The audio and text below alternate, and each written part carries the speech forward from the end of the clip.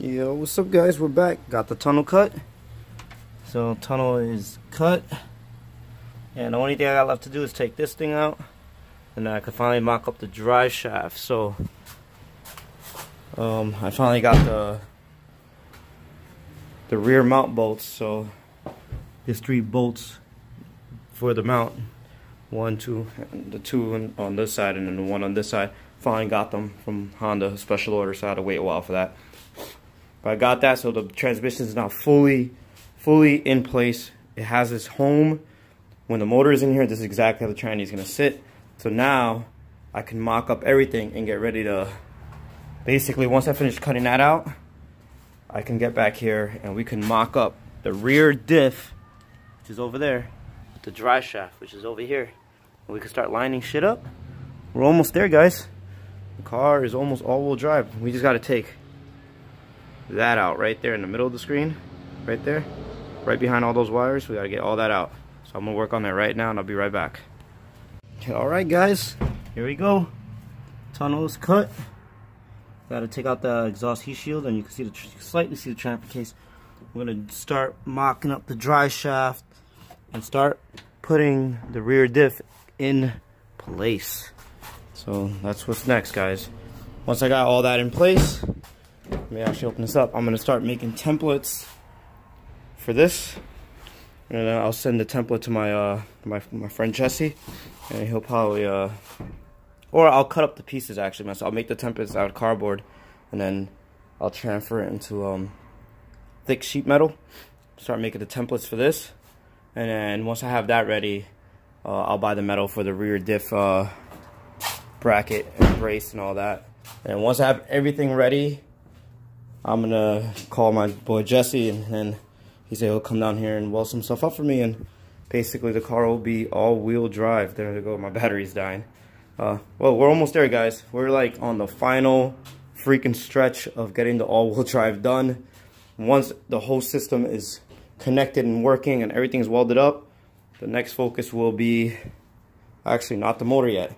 Taking the transmission out, and we're probably gonna put an all-wheel the all-wheel drive limited slip in there and then we're gonna work on the rear LSD. Uh, we're probably gonna put a rear LSD in also. And then once I got the whole drivetrain set up the way I want it to be set up for racing, then we'll get into the motor, and then this will be the last step. And then from there, just get the thing ready to turn on, get a new K-Pro, and get this thing on the dyno and get this thing tuned, and we should be ready for next year, hopefully. We're almost there, guys. Like, it's basically the final stretch. The only thing holding me back at this point is kind of the money situation. Um, so I, am just taking one thing, I'm doing it one thing at a time, you know, so even though like that's all that's left, I have a lot of things to buy still. So like I got, I'm gonna have to get a cage, I gotta get new rotors, I actually need a new rear caliper. There are things that need to get done. I'm getting new brake pads in the back also. I just, I want to get the, the essentials done before I actually build the motor because once I build the motor, I'm gonna want to turn this thing on and start getting it tuned. And I don't want to tune this unless everything on the car is. Sorry about that. The video went out. I ran out of storage. Um, yeah, I just want to make sure everything in the car is basically the way I want it to be for when I get the car tuned. All right, so I'm gonna start cleaning out the bottom of the car a little bit, making some space, take the heat shield out. I'm gonna start mocking up that drive shaft, and I'll be right back, and I'm gonna show you what that looks like once I am done. Hope you guys are excited as I am, because I am super excited. Alright, be right back, guys. Alright, guys. Oh, the light is there. Sorry about that. But they got the heat shield out of the way, and the tunnel is fully cut. Everything is ready for the dry shaft. Alright. Super excited, guys. So check this out. There you go.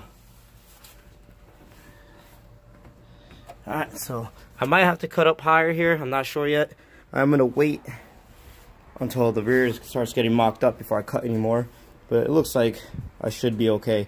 If I have to cut up that extra inch, I will. Alright guys, so dry shaft going up now guys. Can't wait. This is super exciting guys. Hope you're excited as I am. Alright, be right back guys. Alright guys, here we go. Dry shaft is in place.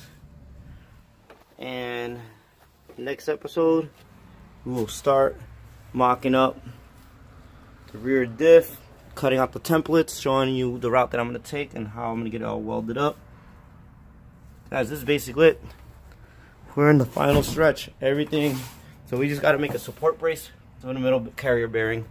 And we got to create the rear diff mount back here. And the RSX will officially be all-wheel drive. And the only other thing I'm basically working on at this point is the normal K-series stuff, which is the transmission. Oh, the, oh, sorry, the transmission over here and the motor over here.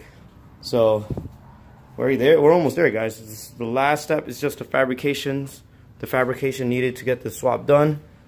Um, don't, don't I won't forget about redoing the e-brake. Our whole e-brake setup is right here. That's basically the RSX components. When we make the tunnel, we're gonna remount it on that on the new tunnel. So, hey guys, this is it. We're almost there, and I hope you're excited. All right, guys. Well, till next time. Peace.